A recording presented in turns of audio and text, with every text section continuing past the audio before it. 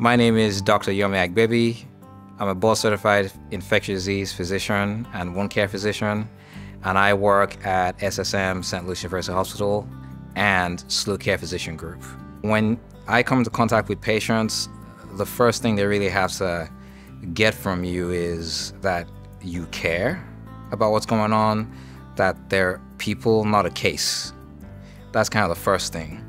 And then the second thing is also helping people know that you're going to do the best you can to get them through this. Part of what we always need to try and do is explain in plain English why we're there and what we think is going on. Uh, I hate speaking in medicalese, so I normally tell patients, you know, I joke, if it doesn't make sense, it doesn't make sense. So speaking in plain language and then also giving uh, people an opportunity to ask as many questions as they like to understand what's going on and to figure out what the plan is.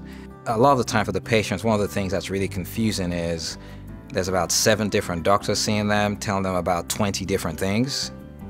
Uh, so a lot of the time, they may all be saying the same thing in different ways, but it's confusing for the patients.